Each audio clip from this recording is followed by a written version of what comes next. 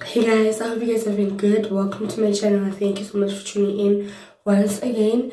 So i hope you guys have been good. I hope you guys have been well. I haven't but it's whatever. It'll pass. So on today's video i'm gonna be showing you guys my everyday wash i mean face wash routine.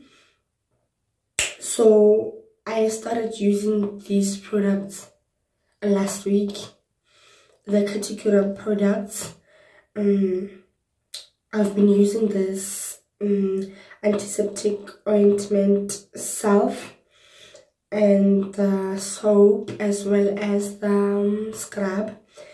And yeah basically let me let me basically demonstrate and show you guys how i use them on a daily basis